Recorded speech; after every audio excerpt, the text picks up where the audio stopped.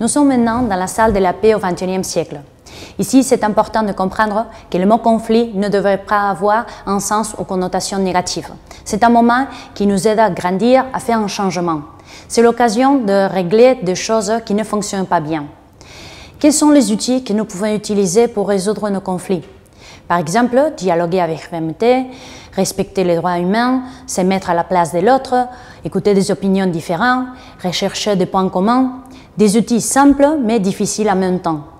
La violence simple, la violence directe, pardon, physique ou verbale et visible, est la pointe de l'iceberg, ce qui est clairement visible dans la surface de l'eau.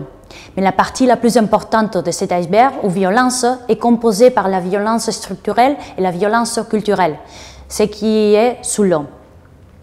Il y en a beaucoup d'exemples de violence directe. Se battre, insulter, casser des choses.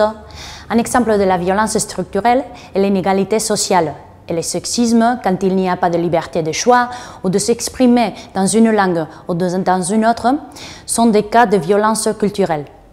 Pour travailler pour la paix aujourd'hui, nous devons faire tourner l'iceberg de la violence et travailler pour la paix au niveau structurel, culturel et direct.